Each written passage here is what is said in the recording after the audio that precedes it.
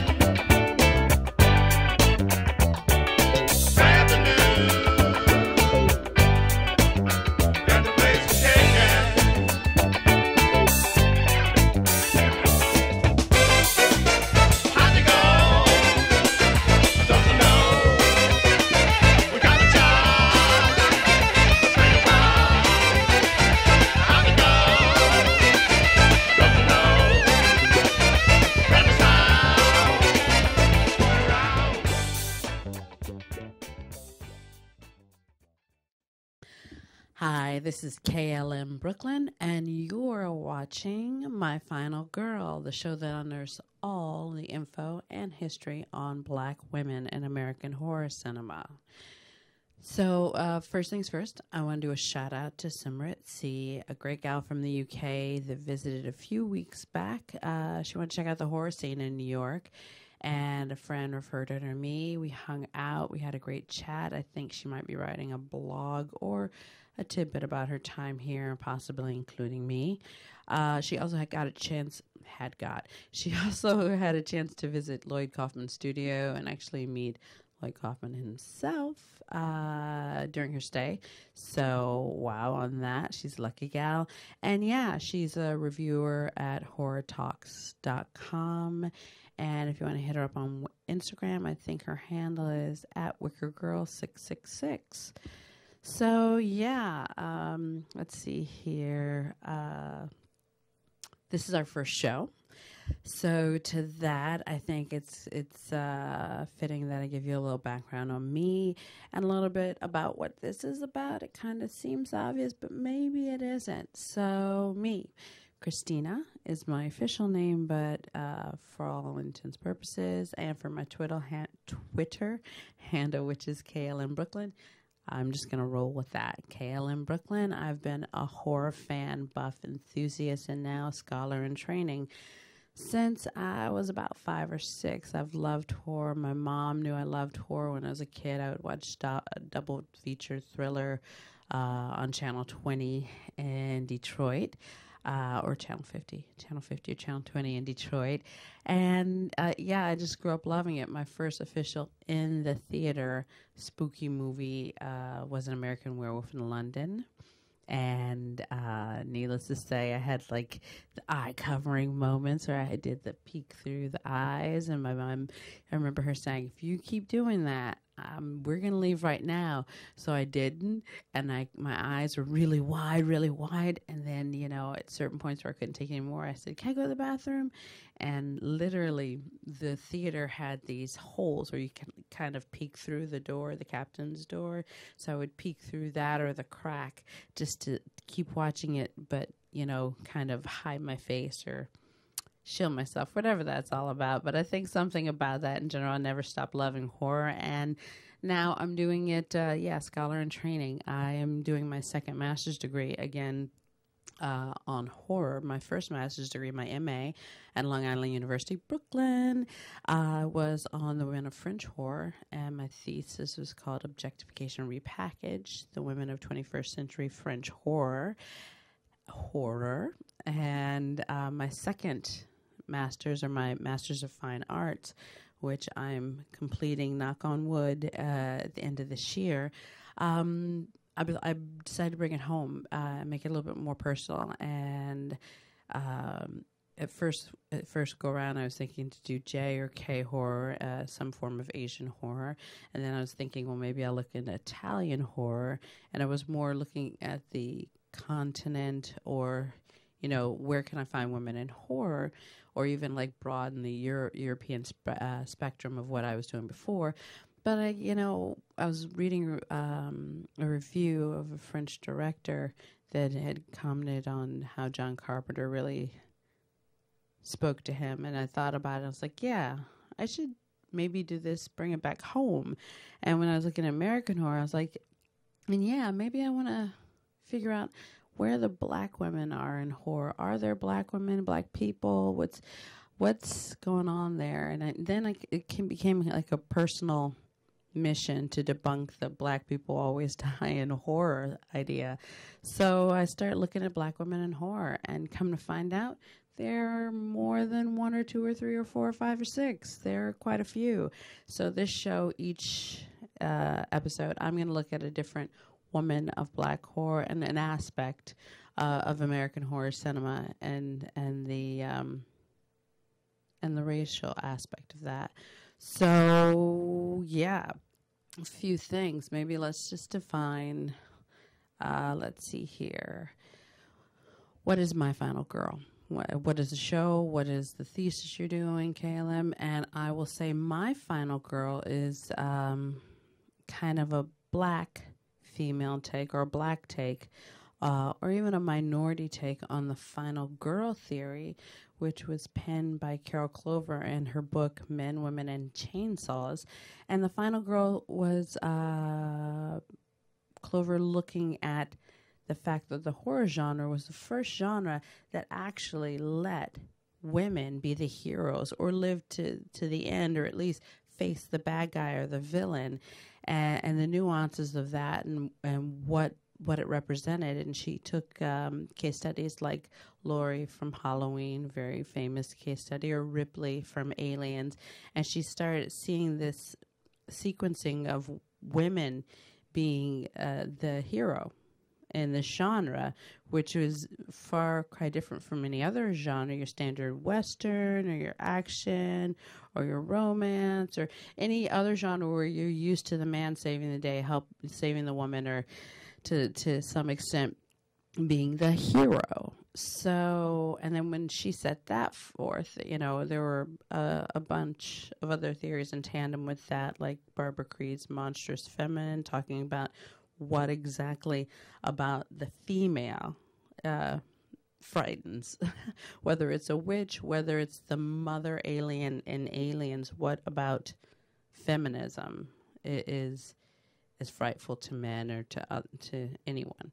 So, and and there are other, not a big breadth of books, but a healthy, a healthy starter, and my little books now in that that um, group, and hopefully my my next my final girl will be in that group as well. But um, not to get off subject. So, final girl, these girls that are taking the leads in this genre. But the the thing I found interesting and how I decided to take my path and angle my final girl was none of these girls were of any color. There were no black, no Asian, no Latino representation. These were all white girls.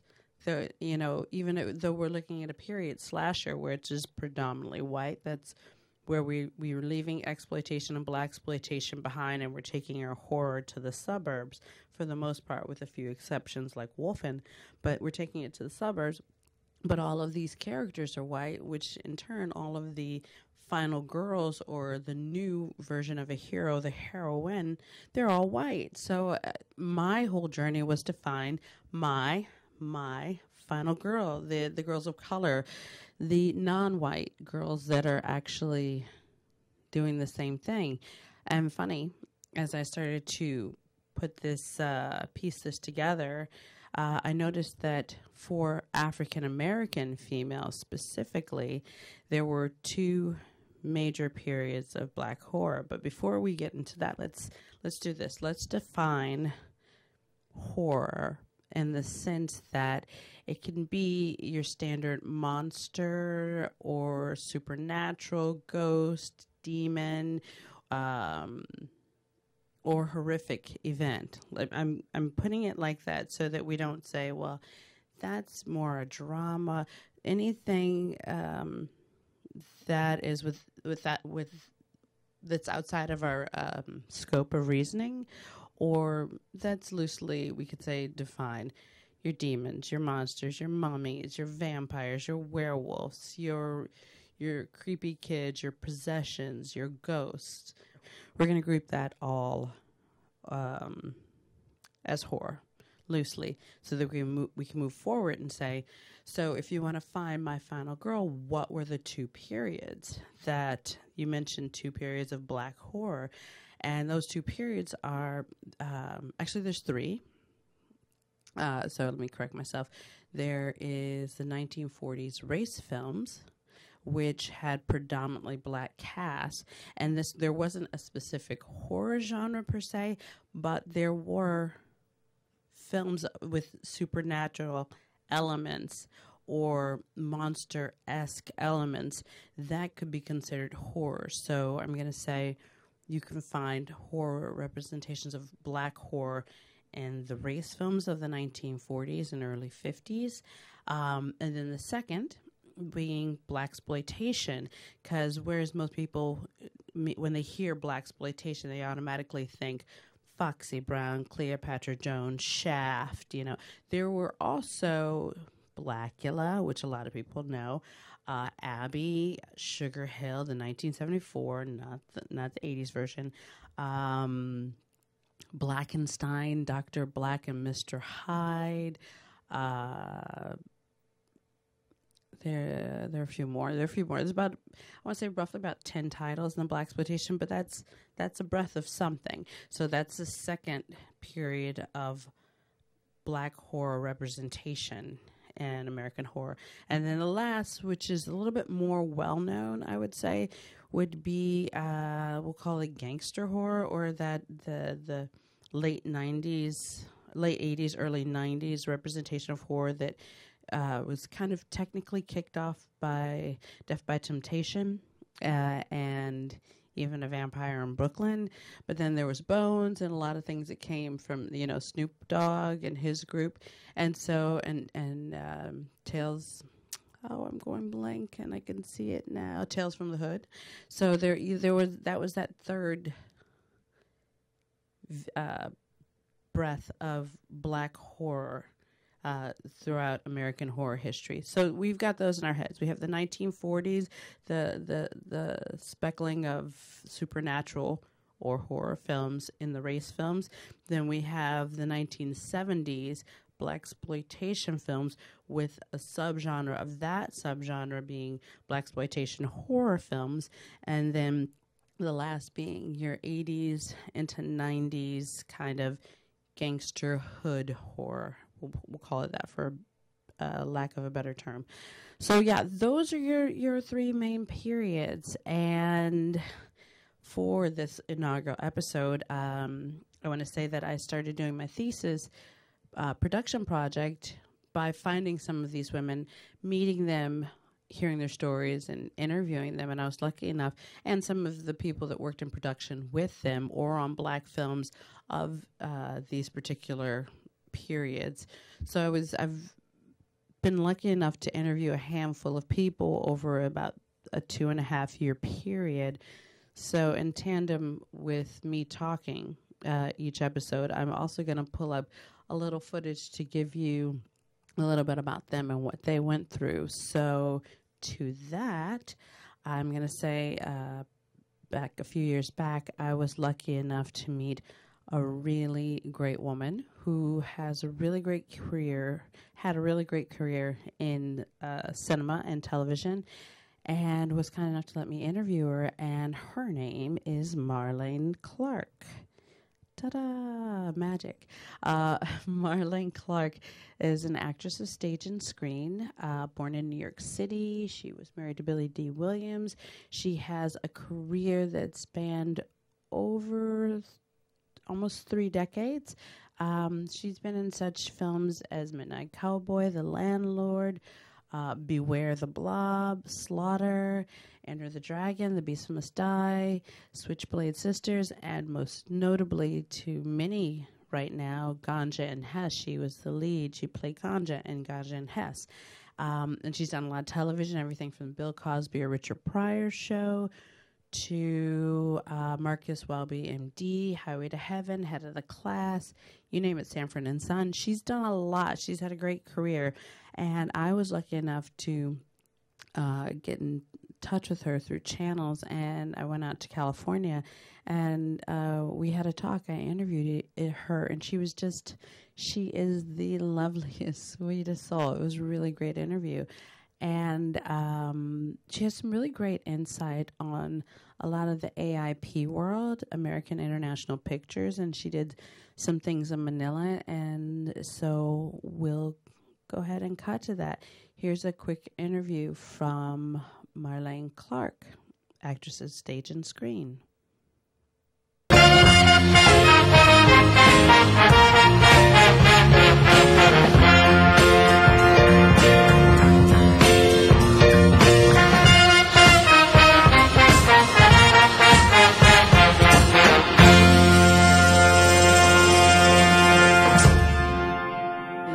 Regards to the black exploitation genre, which everyone talks about, and more specifically with what I'm focusing on, horror films, what led you to the role, or who, or how did it come about?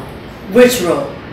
Um, let's start with Night of the Cobra Woman because that's a standard horror, and then we'll move into the. Oh, okay. Well, my agent called and said go to Roger Corman's office, and you know, there's pages there for you to look at, and so I looked at it, and you know, I thought, oh, okay, who wrote this? because he definitely has an antipathy for women, that's for sure. That was my first reaction. Anyway, they liked me, so they gave me the whole script to take home and, and think about. And they told me that it was, was filming in, in Manila. And that was attractive to me because, you know, I'd never been to the Philippines, and so that would be an interesting place to go. And, uh, I mean, the fact that, you know, every man that she becomes intimate, you know, dies is not without, you know, reason for serious thought. I'm very sorry. May I help you?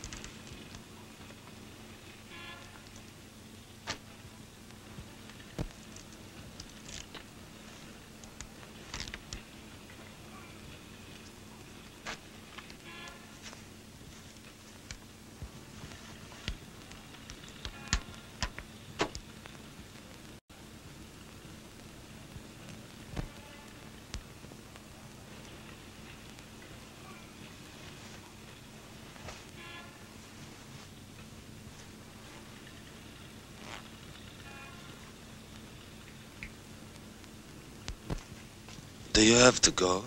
I told you I have an appointment. What's the hurry? You've got plenty of time. I have to go. Goodbye, Ramon.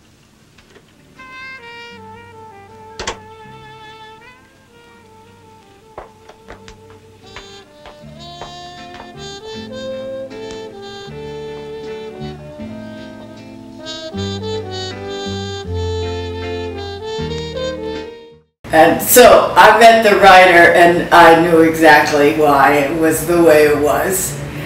But anyway, we went off to the Philippines. I think we were there maybe eight or nine months.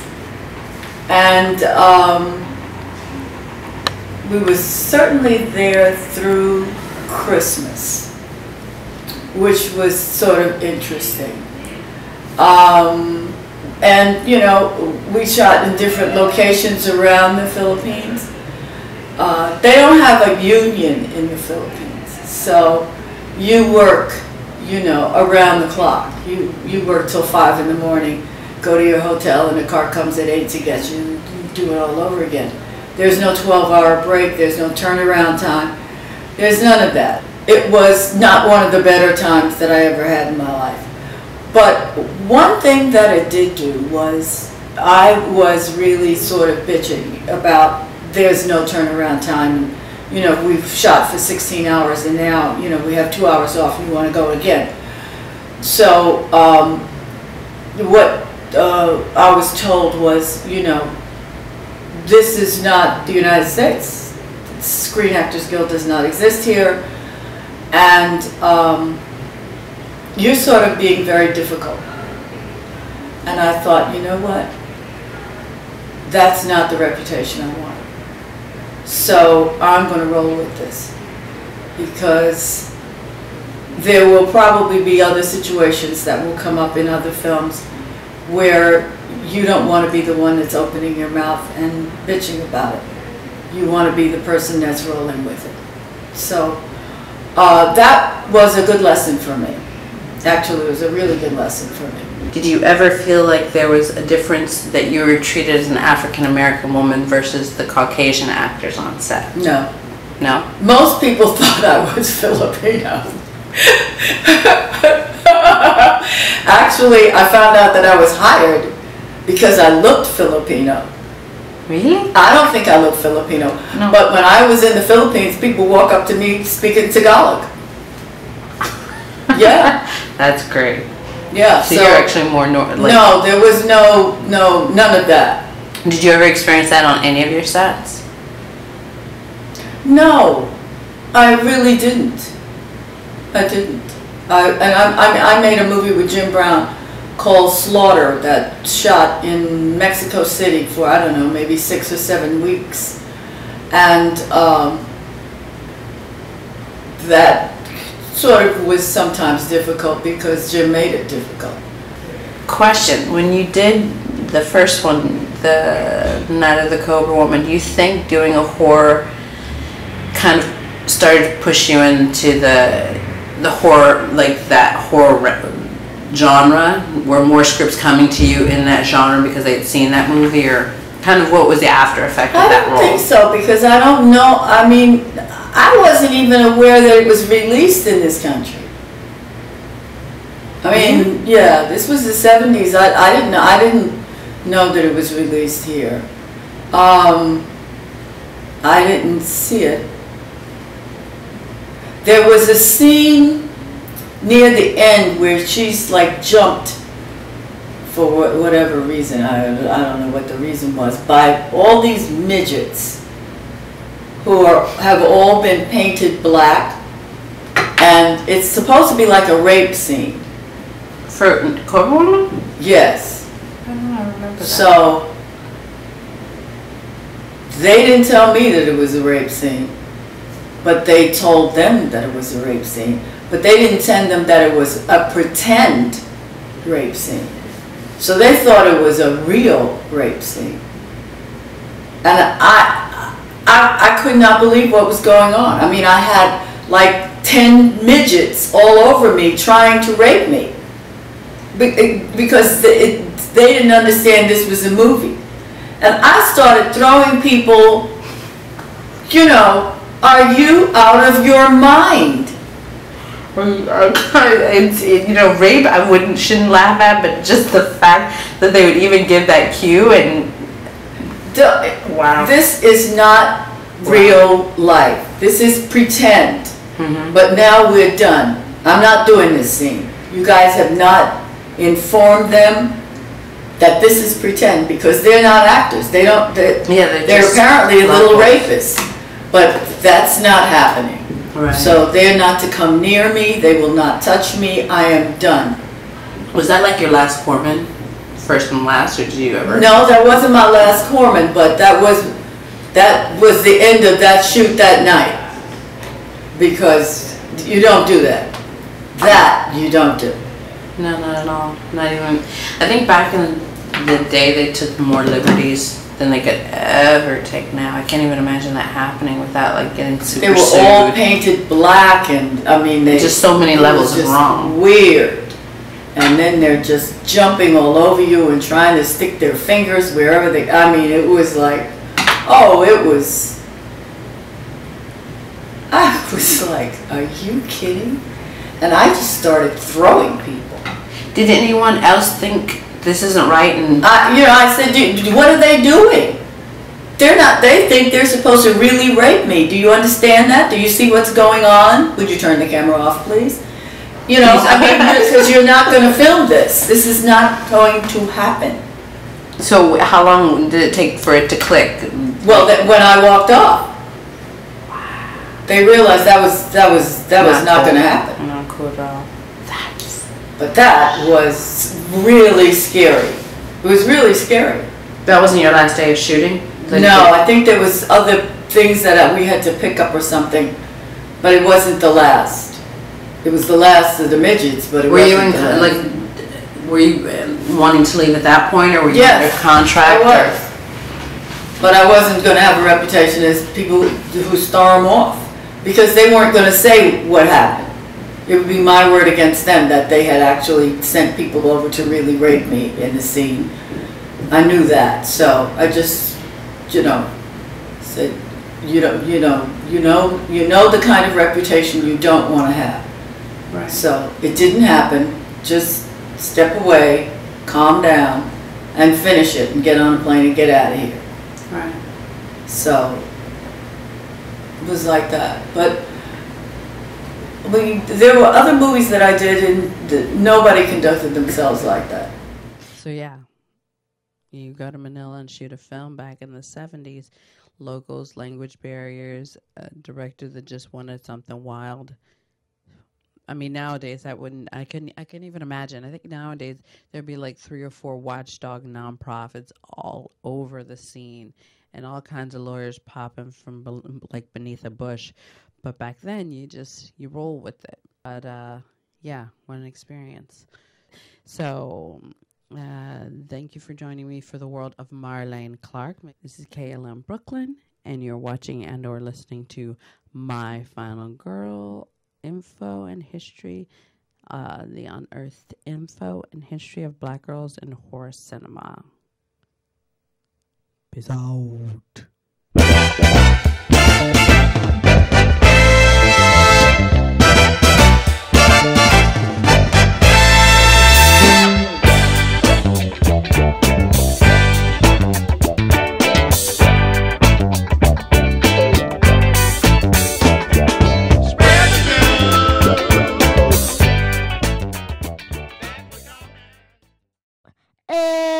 Bob Daily Bop.